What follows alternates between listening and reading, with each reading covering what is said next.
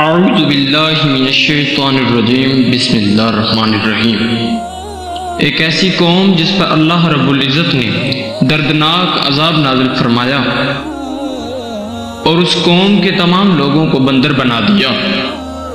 ये कौम ऐसी कौन सा काम करती थी कि जिस पर अल्लाह रब्बुल इज़्ज़त ने इन पर दर्दनाक अजाब नाजिल किया? ये लोग बंदर बनने के बाद कितनी देर ज़िंदा रहे? इन लोगों को कैसे मौत आई? जब ये लोग बंदर बन गए, ये लोग अपने अजीज़ो अकारब को देखकर उनसे क्या कहते थे? क्या आज आज के दौर में पाए जाने वाले बंदर उसी कौम की नस्ल में से हैं? तमाम तर सवाल के जवाब आज की वीडियो में कुरान हदीस की रोशनी में हासिल करेंगे। लिहाजा हमारी आपसे गुजारिश है कि आप मेरी वीडियो को एंड तक ज़रूर देखिएगा। और अगर आपने अभी तक मेरे चैनल को सब्सक्राइब नहीं किया, चैनल को सब्सक्राइब कर दें, बेल आइकन को दबाकर आल के नोटिफिकेशन को प्रेस कर दें, ताकि आने वाली हर नई वीडियो आप तक बसानी पहुँच सके। इंसानों की बंदर बनने की इब्तदा हज़रत हज़रत दाऊद अलैहिस्सलाम के दौर से शुरू हुई। इस वाक्य का बस मंजर कुछ यूँ है कि हज़रत दाऊद अलैहिस्सलाम और उनकी कौम समुद्र के किनारे ईला नामी गाँव में रहते थे और उनकी तादाद सत्तर हज़ार के करीब थी। ये कौम बड़ी ही खुश हाल थी और अल्लाह रब्बुल इज़्ज़त की फर्मा बरदार थी। अल्लाह रब्बुल इज़्ज़त ने इनको बेशुमार नेमतों से नवाजा था। हर तरफ़ सरसब्जो शादाब बागात और हर तरफ़ हरियाली ही हरियाली थी। अल्लाह रब्बुल इज़्ज़त की बेपनाह कर्म नवाजी थी उन पर। ये लोग अपनी ज़िंदगी में बहुत खुश थे। हज़रत दाऊद अलैहिस्सलाम की कौम चूँकि समुंदर में रहती थी। और अल्लाह रब्बुल इज़्ज़त पर और अल्लाह रब्बुल इज़्ज़त का इन पर बेपनाह कर्म था। क्योंकि समुंदर में बेपनाह मछलियाँ आया करती थी, जिनका ये लोग कारोबार करते थे और बहुत खुशहाली वाली ज़िंदगी गुजारते थे। जब ये कौम अल्लाह रब्बुल इज़्ज़त की नेमतों से खुशहाल हो गई तो तो अल्लाह रब्बुल इज़्ज़त की नाफरमानी में उतर आई और तरह तरह के गुनाहों में मुबतला हो गई।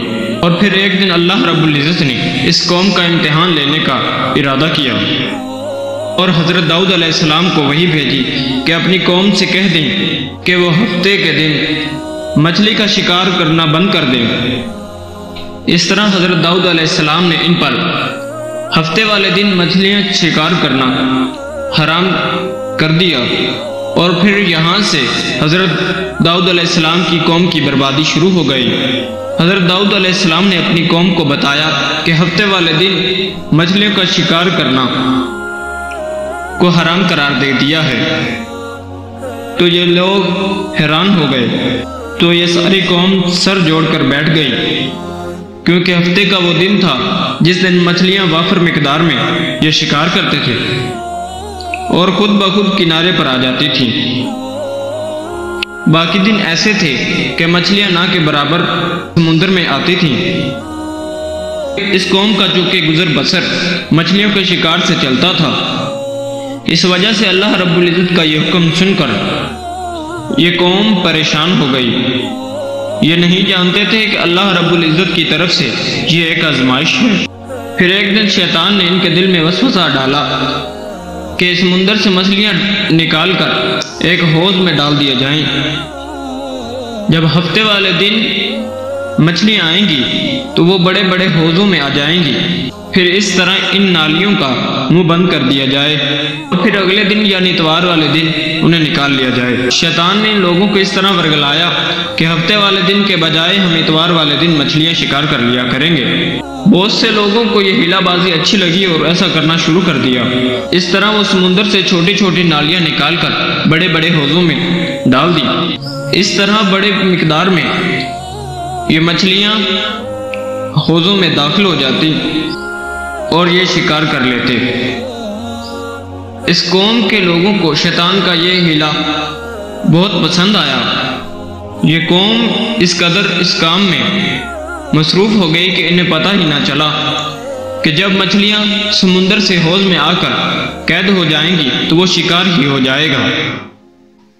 इसलिए यह शिकार भी हफ़्ते वाले दिन ही करार पाएगा। जो अल्लाह रब्बुल इज़्ज़त ने हराम करार दिया था।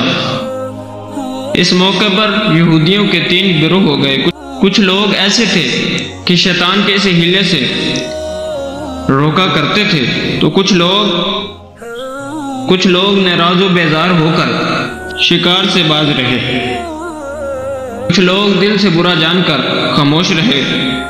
लेकिन उन्होंने शिकार ना किया और दूसरों को मना भी ना करते थे बल्कि ये लोग मना करने वालों से कहते थे कि तुम लोग ऐसी कौम को नसीहत करने वाले हो कि जिनको अल्लाह रब्बुल इज़्ज़त अनकरीब हला करने वाला है और अपना दर्दनाक अजाब नाजिल करने वाला है।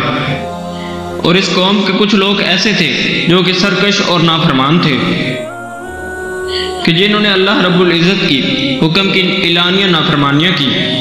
और शैतान की हीलेबाजी को मानकर हफ़्ते वाले दिन शिकार करने लगे। ये अल्लाह रब्बुल इज़्ज़त की हुक्म की मुखालफत करते और हफ़्ते वाले दिन मछलियों का शिकार करते उनको खाया करते और बेचा करते। प्यारे नाजरीन, इस तरह यह कौम अल्लाह रब्बुल इज़्ज़त की हुक्म की नाफरमानियाँ करती रही। हफ़्ते वाले दिन मछलियाँ शिकार किया करती और उन्हें बेचा करती। हज़रत दाऊद ने इन 1200 लोगों को अल्लाह रब्बुल इज़्ज़त के दर्दनाक अजाब से डराया कि अल्लाह रब्बुल इज़्ज़त की इन नाफरमानी से वो बाज आ जाएँ। लेकिन वो लोग बाज ना आए, खुलेआम शिकार करने लगे। चुनाचा जो लोग नाफरमानी से बचे, उन लोगों ने इनके दरमियान एक दीवार बना दी, जिसके एक तरफ़ वो बारह सौ नाफरमान रहते थे और दूसरे बाकी लोग रहा करते थे। हज़रत दाऊद अलैहिस्सलाम ने इस कौम के 1200 लोगों को बेपनाह समझाया। जब ये लोग अल्लाह रब्बुल इज़्ज़त की नाफरमानी से बाज ना आए, फिर एक दिन हज़रत दाऊद अलैहिस्सलाम ने गजबनाक होकर शिकार करने वालों पर लानत फरमा दी। उसका असर ये हुआ, कोई भी अपने घर से ना निकला। ये मंजर देखकर कुछ लोग उनकी दीवारों पर चढ़ गए। ताकि ये मालूम हो सके कि ये लोग किस हाल में हैं। जब इन लोगों ने, उन लोगों को देखा तो सब के सब बंदर बन चुके थे। अल्लाह रब्बुल इज़्ज़त ने अपनी नाफर, अपने हुक्म की नाफरमानी की वजह से उन पर दर्दनाक अजाब नाजिल किया और ये कौम इस तरह बंदर बन गई। जब ये लोग उन मुजरमों के दरवाजे खोलकर उनके घरों में दाखिल हुए तो ये लोग इंसानों से बंदर बन चुके थे और ये लोग अपने रिश्तेदारों को पहचानते थे। और उनके पास आकर उनके कपड़ों को सूंघते थे और जारों के तार रोते थे, लेकिन वो कुछ बोल ना सकते थे। अल्लाह रब्बुल इज़्ज़त के हुक्म के नाफरमान की तादाद बारह हज़ार थी। इन बारह हज़ार लोगों ने अल्लाह रब्बुल इज़्ज़त की नाफरमानी की और अल्लाह रब्बुल इज़्ज़त ने इनको बंदर बना दिया। और जिस तरह अल्लाह रब्बुल इज़्ज़त सूरह बकरा में इर्शाद फरमाता है और बेशक ज़रूर तुम्हें मालूम है। तुम में के वो जिन्होंने हफ़्ते के दिन सरकशी की तो हमने उनसे फरमाया तो हो जाओ बंदर करते हुए। इस तरह हज़रत दाऊद अलैहिस्सलाम के बारह हज़ार लोग बंदर बन गए। ये लोग तीन दिन तक ज़िंदा रहे और इस दौरान ये लोग ना खा सकते थे और ना पी सकते थे। बल्कि यूँ ही ये भूखे प्यासे सब के सब हलाक हो गए और तीन दिन के अंदर सब के सब मारे गए। और जो लोग अल्लाह रब्बुल इज़्ज़त के हुक्म की नाफरमानी से रोका करते थे, अल्लाह रब्बुल इज़्ज़त ने अपने इस अजाब से उन लोगों को महफूज रखा। वीडियो अच्छी लगी हो तो चैनल को सब्सक्राइब कर दें, बेल आइकन को दबाकर ऑल के नोटिफिकेशन को प्रेस कर दें, ताकि आने वाली हर नई वीडियो आप तक आसानी पहुँच सके। मिलते हैं नेक्स्ट वीडियो के साथ, तब तक के लिए मुझे दीजिए इजाज़त, अल्लाह हाफिज़।